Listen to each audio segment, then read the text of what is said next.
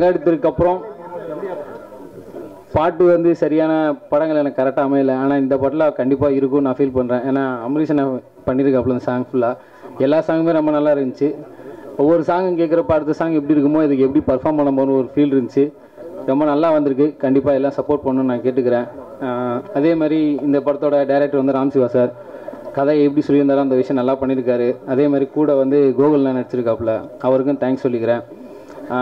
இந்த படத்தோட ப்ரொடியூசர் வந்து சங்கர் மூவிஸ் ஜோசப் பேபி அண்ணன். அவருக்கும் தேங்க்ஸ் சொல்லிக்கிறேன். ஏன்னா ஃபுல் அண்ட் ஃபுல் படம் ஃபுல்லாக முடித்து ஃபுல்லாகவே எல்லாத்துக்கும் சப்போர்ட் பண்ணார். அதேமாதிரி இதில் ஒர்க் பண்ண எல்லாருக்குமே நான் ரொம்ப நன்றி சொல்லிக்கிறேன். ஏன்னா அதிகபட்சம் டே நைட் தான் நிறையா போச்சு. கூடியே இருந்த ஒர்க் பண்ண லைட்மேன் ஆகட்டும் ப்ரொடக்ஷனில் இருந்தவங்க எல்லாருக்கும் அதுலேயும் ஸ்பெஷலாக அவர் நிறைய டீலாம் போட்டு கொடுப்பார் வெரைட்டிலலாம் அவங்க எல்லாருக்குமே நான் தேங்க்ஸ் சொல்லிக்கிறேன்.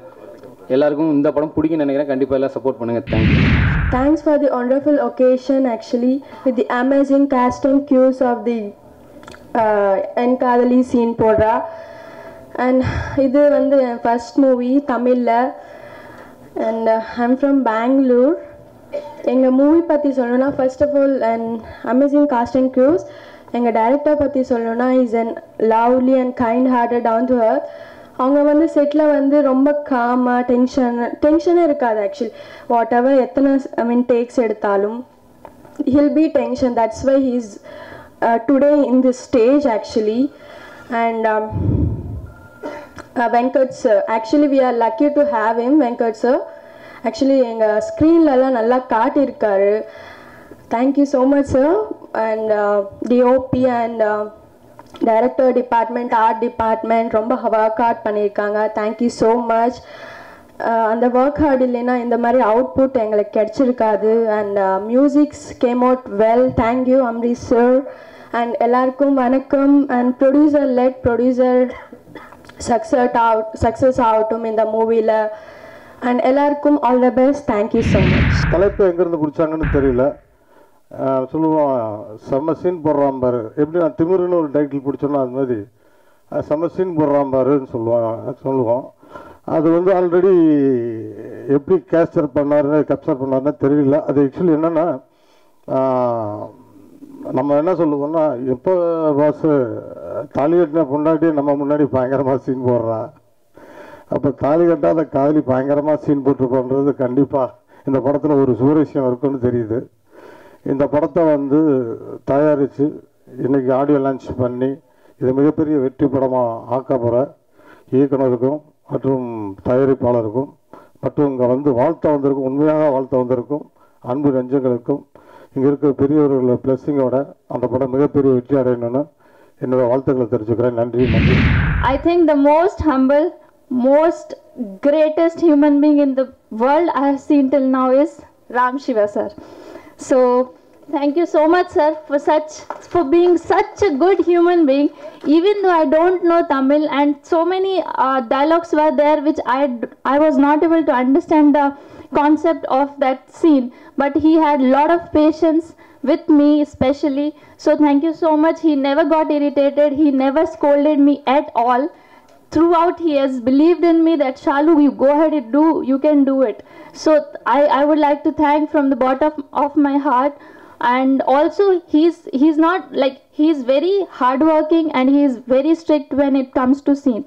But that is only for the script not for the artist. So this kind of director if any artist will get they can reach heights in their life i think so. So such a such a good human being. Please would you have a round of applause for him once. Thank you. Now uh, the hero of today's uh, audio function amrish sir because without him it, this day would not be possible. So everybody has seen the music. Already we have heard the music. Once the music was not complete like it was a rough kind of music at that point of time only i was so fascinated with this music that wow what kind because i don't understand tamil. I can only understand the beats and the uh, music so i was so fascinating that wow what kind of music is that? And now when it is finished when i saw the final copy of that song those songs which we have already worked upon it's i would tell it's superb. It's superb. Even though i don't understand i just want to get up and dance. So i hope the same with the audience also. When we come uh, when this music comes on the floor i think that everybody sh- would feel the same as I'm feeling right now. So I'm hoping, fingers crossed, for this kind of music to be a successful and a big hit. So thank you, Amrish sir, for giving us such a good music. Tarun Gopi சொன்ன மாதிரி இந்த title வந்து it's very catchy ரொம்ப ரொம்ப ஈஸியாக போய் இளைஞர்களை சென்றடைய ஒரு டைட்டில் பிடிச்சிருக்காரு அதுக்கே வந்து நல்லா இருக்கும் இந்த படத்தில் நானும் ஒர்க் பண்ணியிருக்கேன் அதுக்குன்னு ட்ரெயிலரில் இந்த மாதிரியான ஒரு வார்த்தையை போட்டு என்னை டேமேஜ் பண்ணியிருக்க கூடாது. யாரு? ஓகே அது அந்த அர்த்தத்தில் வரல. உங்களுக்கு அந்த அர்த்தம் தெரியிற மாதிரி போட்டார் அவர். கொஞ்சம் லேசாக இப்போ ரீசன்ட் படத்தில் என்னை எப்படியான வெண்ணிராட மூர்த்தியாக மாற்றுறதுக்கு எல்லா இயக்குனர்களும் ரொம்ப ட்ரை பண்ணிக்கிட்டு இருக்காங்க. ராதாமோகன் பண்ணால் அடுத்தது இவர் போல இருக்குது anyway it's very happy to work with them ராமோட ஒர்க் பண்ணுறது ரொம்ப சந்தோஷம். இந்த விழாவின் நாயகன் நம்ம கதாநாயகன் அவர் ரொம்ப பேக்ரவுண்டில் இருந்துட்டு ரொம்ப நடிப்பார். அதுவே பெரிய விஷயம். நல்ல பையன் ரொம்ப அருமையான இசை நாலேஜு வச்சுட்டு ரொம்ப பிரமாதமாக நல்ல படங்களுக்காக காத்துட்டே இருக்காரு. ஒவ்வொரு படம் முத்து முத்தாக பண்ணிக்கிட்டு கொடுக்குறாரு. அஞ்சு பாட்லேயும் வெரைட்டி கொடுக்குற ஒரு மியூசிக் டைரக்டர் கண்டிப்பாக மீண்டும் பெரிய வெற்றி அவருக்கு கிடைக்கும். ஒரு சிங்கரை மேடையில் ஏற்றி பேச சொன்னது ஐ திங்க் இதுதான் ஃபஸ்ட் டைம் இருக்கும்னு நினைக்கிறேன். ரொம்ப நன்றி. இந்த விழாவின் கதாநாயகன் நம்ம அம்ரிஷ் அவருக்கு வாழ்த்துக்கள். ஏதாவது ஒரு மேஜிக் பண்ணிகிட்டே இருப்பான் அந்த பையன். ஸோ uh, ஏதாவது ஒரு ப்ராஜெக்டில் அட்லீஸ்ட் ஒரு சாங்கில் ஒரு பயங்கரமான ஒரு மேஜிக் இருக்கும். ஹீல் கிவ் ஒரு ஹண்ட்ரட் பர்சன்ட் எல்லா சாங்லேயும் வந்து எஃபோர்ட் கொடுத்தாலும் ஏதாவது ஒரு சாங்கில் ஒரு பயங்கரமான மேஜிக் ஒன்று இருக்கும். Um, இந்த படத்துலேயும் அது. நான் அம்ரிஷ் கூட ரெண்டாவது படம் ஒர்க் பண்ணுறேன் இதுக்கு முன்னால் um, பாஸ்கர் ஒரு ராஸ்கல் ஒர்க் பண்ணேன். Um, என்னோட ரொம்ப நாள் பெண்டிங் லைஃப் டைம் கனவு அரவிந்த் சுவாமி சாருக்கு தான் பாடணும் அப்படின்ட்டு அது இவர் மூலமாக நான் நிறைவேறுச்சு. இன்னும் ரெண்டே ரெண்டு ஹீரோக்கு நான் பாடல. ஒன்று சூப்பர் ஸ்டார் இன்னொன்று மகேஷ். இப்போ இவருக்கும் பாடியாச்சு. ஸோ தலைவருக்கு மட்டும் பாடிடணும். அது ஒன்று தான் ஸோ வாழ்த்துக்கள். அண்ட் மேடையில் உட்காந்துருக்கிற அனைவருக்கும் என்னுடைய மரியாதைகள். All the actors actress technicians எல்லாம் போஸ்ட் ப்ரீ எல்லாருக்குமே வந்து all the best God bless thank you எல்லாருமே இந்த படத்தோட டைட்டிலை பற்றி ஃபுல்லாக சொல்லிட்டாங்க. திருப்பி சொல்ல வேண்டியதில்லை. அவ்வளோ ஒரு செம்ம அட்ராக்டிவான ஒரு டைட்டில் யூத் எல்லாம் உள்ளே கூப்பிட்ற ஒரு டைட்டில் அந்த டைட்டிலுக்கு ஏற்ற மாதிரி சாங்ஸ் வந்து பார்த்தேன். சூப்பராக இருந்துச்சு. அம்ரீஷ் சொல்ல வேண்டியதில்லை. ஒரு எங்கள் படத்தில் சின்ன மச்சான்ற ஒரு பாட்டு இன்றைக்கி அறுபத்தஞ்சு மில்லியன் கொண்டு வந்திருக்காரு. அப்படி ஒரு அவர்கிட்ட பெரிய ப்ளஸ் என்னென்னா அந்த ஸ்டோக் அந்த குத் இது வந்து அந்த பீட் சூப்பராக இருக்கும். அம்ரீஷ்க்கு நெக்ஸ்ட் இயர் ஒரு பெரிய ரெட் கார்பெட் இருக்குது அதோட ஃபாலோ அப்பாக இந்த படம் அமைகிறதுக்கு என்னுடைய வாழ்த்துக்கள். கண்டிப்பாக இந்த படம் வந்து அவருக்கு ஒரு சீன்லாம் படம் வேணாம். உண்மையிலே நல்லா இருக்குது சூப்பராக இருக்குது வாழ்த்துக்கள். இந்த படத்தோட டைரக்டர் இருபத்தி மூணு நாளில் ஒரு படம் முடிக்கிறதுன்றது it's not an easy joke அவர் வந்து அதுக்கு எவ்வளோ ஹார்ட் ஒர்க் பண்ணியிருப்பார் எவ்வளோ பேப்பர் ஒர்க் பண்ணியிருப்பார் எவ்வளோ பக்காவாக இருந்தால் மட்டும்தான் அந்த டுவெண்ட்டி த்ரீ டேஸில் ஒரு படத்தை முடிக்க முடியும். அந்தளவுக்கு பக்காவாக முடிச்சிருக்கிறதுக்கு என்னுடைய வாழ்த்துக்கள். என் காதலி சீன் போடுற படத்தில் வந்து ஒரு முக்கியமான கேரக்டரில் பண்ணியிருக்கேன். ஃபஸ்ட் டைமாக ஒரு போலீஸ் கேரக்டரில் பண்ணியிருக்கேன். அதே மாதிரி இந்த படத்தோட டைரக்டர் ராம் சிவா வந்துட்டு இந்த படத்தில் வந்து எனக்கு வந்து ரொம்ப இம்பார்ட்டன்ஸ் கொடுத்து பண்ணியிருக்காரு. அதுக்கு மிகப்பெரிய நன்றி இந்த மாதிரியே தெரிவிச்சுக்கிறேன் ராம் சிவா டேரக்டருக்கு அப்புறம் இந்த படத்தில் வந்து ரெண்டு ப்ளஸ் இருக்குது பெரிய ப்ளஸ் என்ன அப்படின்னா மியூசிக் அது வந்து அம்னிஷ் சார் பண்ணியிருக்காரு நீங்கள் பாட்டை கேட்டிருப்பீங்க. எல்லா பாட்டுமே சூப்பராக இருக்குது அது ரெண்டு பாட்டு வந்து டான்ஸ் ஆடுற லெவலுக்கு இருக்குது பயங்கரமாக இருக்குது அம்னிஷ் சார் தேங்க்ஸ் சார் அதுக்கு. ப்ளஸ் இந்த படத்தை இன்னொரு பெரிய பலம் என்ன அப்படின்னு கேட்டிங்கன்னா சினிமாட்டோகிராஃபி வெங்கட் சார் பண்ணியிருக்காரு ஸோ அவருக்கும் இந்த இடத்துல வந்து வாழ்த்துக்கள் தெரிவிச்சுக்கிறேன். மொத்தத்தில் இந்த படம் வந்து நல்லா வரணும். அதுக்கு வந்து உங்களுடைய சப்போர்ட் தேவைப்படுது. தேங்க்யூ இருபத்தி மூணு நாளில் இந்த படத்தை முடித்தேன் Aadukalam Naren sir Manobala sir music theatre Amreesh sir Amreesh சார்லாம் பயங்கர பிஸியாக இருந்தார். அவர்கிட்ட சாங்ஸ் வாங்கணும்னா நைட்டு ஒரு மணி ரெண்டு மணிக்கு எனக்கு கூப்பிட்டு எனக்கு பண்ணி கொடுத்தாரு. ரொம்ப தேங்க்ஸ் அமிரேஷ் சார் நான் அமிரேஷ் சாருக்கு ரொம்ப கடமைப்பட்டிருக்கேன். ஏன்னா நான் ஷூட்டிங் நடக்கிறப்ப நைட் கூப்பிடுவேன். அடுத்த நாள் எனக்கு ட்ராக் அனுப்பிச்சிடுவார். பிடிக்கலன்னா அடுத்த நாள் எனக்கு அனுப்பிச்சுட்ருவாரு ரொம்ப தேங்க்ஸ் உண்மையுமே நான் வந்து இது எனக்கு மனசுக்குள்ளே எதுவும் எனக்கு வச்சுக்க தெரியாது. அதே மாதிரி ஆடுகளை நரேன் சார் மனோபாலா சார். மனோபாலா சார்லாம் ஹைதராபாத் ஷூட் போகணும். நான் கூப்பிட்டோன்னு உடனே வந்து பண்ணி கொடுத்தாங்க அவர் ஆடுகளை நரேன் சார். என் கூட ஒர்க் பண்ண அத்தனை டெக்னீஷியனும் எனக்கு ரொம்ப சப்போர்ட்டிவாக இருந்தாங்க. Cameraman sir. நான் ரொம்ப அவருக்கு கடமைப்பட்டாகணும் என்னோடய முதல் படம் டீக்கரை பெஞ்சினே அவர் தான் கேமராமேன் சார். இந்த படத்துலேயும் தான். இந்த படத்தில் அவரை பற்றி சொல்லணும்னா நைட்டு நான் கூட ஒரு ஒன் ஹவர் டூ ஹவர் தூங்கியிருப்பேன். சரியமாக கேமராமேன் தூங்கவே இல்லை.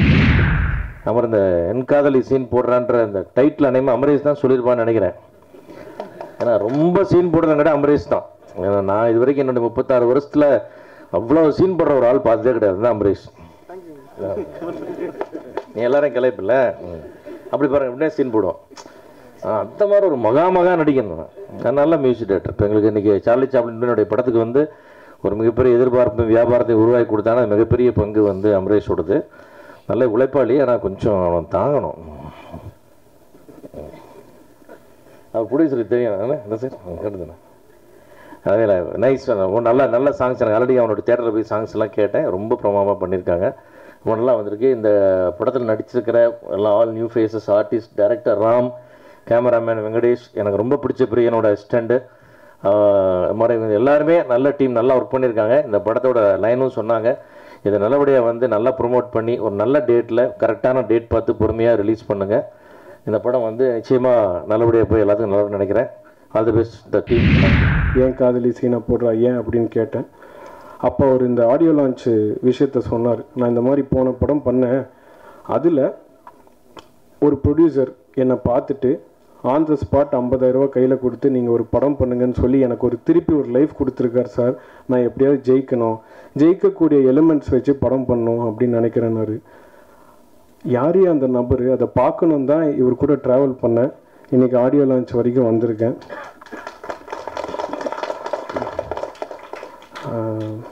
ஜெயிக்கிற குதிரை மேலே பணம் கட்டி போகிறது பார்த்துருப்பீங்க. ஜெயிக்கக்கூடிய குதிரையை தேர்ந்தெடுத்து இது ஜெயிக்க வைக்கிறதுக்காக ஒரு producer பாடுபட்டிருக்காருன்னா first hats off to you sir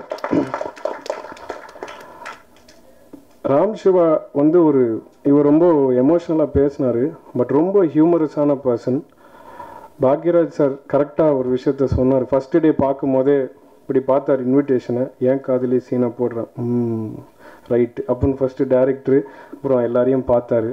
ஒரு வார்த்தை சொன்னார். நிறைய பேர் சொன்னாங்க இந்த மாதிரி ஏன்னா என்ன படங்க பண்ணுறீங்க அப்படின்னு நான் ஒரு நாலஞ்சு படம் பண்ணும்போது ஏன் காதலி சீனை போடுறா அப்படின்னு சொல்லும் போது இருக்குது ஒரு மாதிரி இருக்குது அப்படின்னாங்க. இப்போ அதான அட்ராக்ஷனு நல்லா இருக்குது நல்லா தமிழ் பேசிட்டா யார் பார்க்குறா கொஞ்சம் ஏதாவது தடுமாற்றம் இருந்து அது மாதிரி ஏதாவது ஒன்று இருந்தால் தானே அதில் ஏதோ ஒரு வித்தியாசம் இருக்குடா அப்படின்னு சொல்லி பார்க்குறாங்க ஸோ இப்போ கூட சில விஷயங்கள் நான் பேசினா வந்து வேறு மாதிரி போகுதுனால நிறைய நான் என்னை நான் மாற்றிக்கிட்டேன் அதுக்கு மெயின் காரணம் இங்கே இருக்கிற என் குருநாதர் டி சிவா சார் அவர்கள். அவர் சொல்லியிருக்காரு அமைதியாக பேசு நிறைய வேலை செய். நிறைய பேசிட்டு என்ன ஒர்க் இருக்குது அப்படின்றது வந்து உனக்கே தெரியும் அப்படின்னாரு. அந்த விஷயத்த சார்கிட்ட நான் நிறைய கற்றுக்கிட்டேன் அப்புறம் இவ்வளோ பெரிய ஒரு சக்ஸஸ் ஃபுல் மியூசிக் டைரக்டர் அப்படின்னு கூப்பிட்றாங்கன்னா hats off to Sakthi Chidambaram sir அவர் வந்து இந்த படத்தை சார்லி சாப்ளின் டூன்ற ஒரு படத்துக்கு நீ மியூசிக் டைரக்டர் இல்லைன்னா நான் இந்த இடத்துல இல்லை. அது மாதிரி இதே நிலமை கண்டிப்பாக அங்காடி திரு மகேஷ் அவர்களுக்கு ஒரு நாள் வரும். அது இந்த படமாக அமையும்னு சொல்லி எல்லா வல்ல இறைவனையும் நான் இந்த நேரத்தில் வேண்டி கேட்டுக்கிறேன். அங்காடி தெருன்னு ஒரு படம் பண்ணிட்டு அஞ்சலி கூட அந்த ஒரு பாட்டை பார்த்துட்டு அடிக்கடி அடிக்கடி டிவியில் தூங்குனா அந்த பாட்டு எந்திரிச்சா அந்த பாட்டு வேணாடா போடாதீங்கடா சொன்னாலும் அந்த பாட்டையே தான் போட்டுட்டு இருப்பாங்க ஏன்னா அவ்- அவ்வளோ ஒரு ஒரு ஒரு இயல்பு இருந்துச்சு அந்த படத்தில். அதுக்கப்புறம் ஏன் அப்படின்னு பார்த்தீங்கன்னா சில சூழ்நிலைகள் அது வந்து கண்டிப்பாக மாறும்.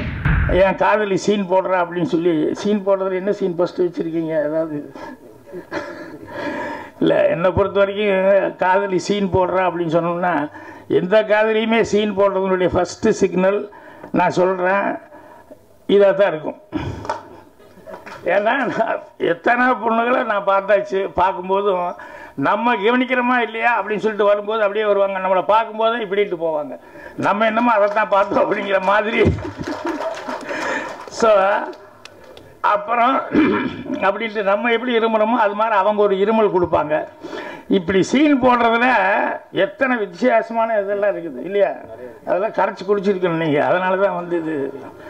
அதே மாதிரி நாடகத்துக்கு ஆர்டிஸ்ட்டு நடிகை புக் பண்ணுறதுக்காக போகிறோம் போகும்போது தப்பாக சொல்ல. அவங்களுடைய ரியல் சூழ்நிலை என்னென்னா அந்த வீட்டை கிராஸ் பண்ணி போகும்போது யாரோ ஏதோ கழுவிட்டு இருந்தாங்க.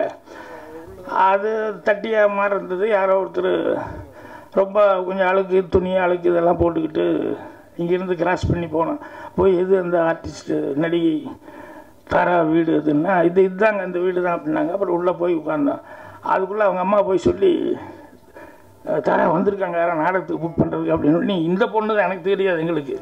அப்புறம் அவசரமாக போய் ஒரு பளபளபளன்னு ஒரு ட்ரெஸ்ஸை போட்டுக்கிட்டு அப்படியே பேக்கேலேருந்து வந்து சொல்லுங்கள் அப்படின்னுது. இதுதானே இப்போ வாசல் தேய்ச்சிக்கிட்டு இருந்தது. பாத்திரம் தேய்ச்சினா அதுக்குள்ளே என்னடா நட உடையெல்லாம் மாறி போச்சு அப்படின்னு. அப்புறம் உடனே கேட்போம். இல்லைங்க நாடகத்தில் புக் பண்ணேன் அம்மா அந்த டைரி கொடு. அப்படின்னு. அப்புறம் உடனே டைரி போடுறேன். வீட்டில் சும்மா தான் உட்காந்துருந்தது இந்த சீன் போடுறதுங்கிறது இதுதான். இதை விட ஆம்பளை சீன் போடுறதுன்னு இருக்கு? ஆனால் பொம்பளையில் மட்டும் நம்ம சொல்லக்கூடாது. நாங்கள் நாடகம் போடும்போது எங்கள் ஊரில் பெரிய மனுஷங்க எல்லாம் இருப்பாங்க. அவ்வளோ நாற்பத்தஞ்சு வயசு ஐம்பது வயசுல எல்லாம். அவங்கெல்லாம் வந்து என்னடா பண்ணி? இல்லை நாடகம் இருக்குல்ல ஏன்னா வேறு பொழப்பில்லையே அவங்களுக்கு போய் ஒழுங்காக வேலை வெட்டி பார்ப்பேன் நாடகம் போடுறாங்க நாடகம். அப்புறம் அப்படியே தலையை குத்திக்கும் அப்புறம் ரிகல்சன் நடந்துட்டுருக்கும் திடீர்னு அவங்க வருவாங்க. அது அந்த நாடகம் நடி வந்து ரெண்டு இதுதான் கொடுப்பாங்க. ஒரே ஒரு தடவை ஒரு ரிகல்சலுக்கு வருவோம். அப்புறம் டைரெக்டாக ஸ்டேஜ் தான் அப்படிம்போம். நாங்கள் ரொம்ப ரிக்வஸ்ட் பண்ணி அந்த ஆர்டிஸ்ட்கிட்ட எல்லாம் புதுசுங்க. அதனால் ரெண்டு ரிகர்சல் கொடுத்துட்டு அப்புறம் ஸ்டேஜ் வச்சுக்கலாம் அப்படிமா அப்போ கூப்பிட்டு வந்திருப்போம். இந்த நாடகம் போடுறவங்க திட்டினாங்க பாரு இந்த பெரிய மனுஷங்க. வரும்போது என்னடா ஒரே கூட்டமாக இருக்குதுன்னா. இல்லை ரிகல் நாடக ரிகல்சல் பார்க்குறாங்க. அது எப்பவும் பார்க்குறதானே இது நீ இன்னைக்கு கூட்டம். இல்லை இல்லை நடிகை வந்திருக்கா நடி ஓ நடிகையோடையா? அப்படின்னு ஒன்னே அவர் அப்படியே சட்டையை பார்ப்பார். டக்குன்னு வீட்டுக்கு போய் வேற ஒரு புது துணி போட்டு வந்துடுவார் நாடகத்துக்கே வேண்டான்னு சொன்னாலும் முள்ள உள்ள வருவார். நாங்கள் பெரிய மனுஷன் வேண்டாம் வாங்கினேன் அப்படின்னு. என்னப்பா நாடகம் போடுறீங்களா? அப்படின்ட்டு உட்காருவார். பார்த்தா நூறுரூவா நோட்டு இங்கே முன்னால் பாக்கெட்டில் அப்புறம் அப்படின்னு அவருக்கு அப்புறம் நடிகை அவங்க அம்மா தான். அவருடைய கான்சன்ட்ரேஷன் ஏப்பா யாரும் டீ ஒன்றும் சாப்பிடலையா? ஏமா என்ன சாப்பிட்றீங்க நீங்கள் அப்படின்னு சொல்லிட்டு அந்த ஆர்டிஸ்ட் அவங்க அம்மா கிட்ட அவர் அங்கிருந்து அவர் சீன் போட ஆரம்பிப்பார். அதுக்கப்புறம் நாங்கள் ரிஹர்சல் முடியும் ஏன்ப்பா இன்னும் கொஞ்சம் நேரம் பாருங்களேன் நல்லா ரிஹர்சல் பாருங்களேன் அப்படிம்பாரு. ஸோ இந்த இந்த சீன் போடுறா அப்படின்னு சொல்லி சொன்னோன்னே சீன் போடுறதை நினச்சா இன்றைக்கும் எனக்கு வந்து எப்படி எப்படியெல்லாம் சீன் போடுறது அப்படிங்கிறது வந்து அதே ஒரு பெரிய படமாக எடுக்கலாம். அதனால் யூத்துக்கு தகுந்த ஒரு டைட்டில் வச்சுருக்கீங்க. கண்டிப்பாக வந்து இதில் நீங்கள் எப்படி கதை பண்ணியிருந்தா கூட இந்த மாதிரி சீன்கள் வந்து இருக்கிறது வந்து நிச்சயமாக காப்பாற்றி கொடுக்கும்.